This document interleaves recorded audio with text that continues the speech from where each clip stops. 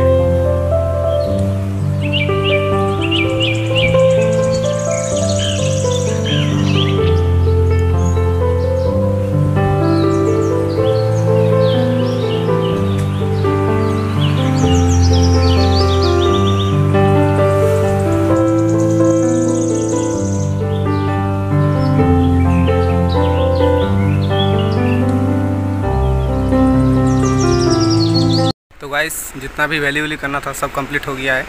तो आपको अगर ब्लॉग अच्छा है तो प्लीज़ ब्लॉग को लाइक ज़रूर कीजिएगा। चैनल पर नए हैं तो चैनल को सब्सक्राइब ज़रूर कीजिएगा। Thank you for watching next blog में मिलते हैं। तब तक के लिए बाय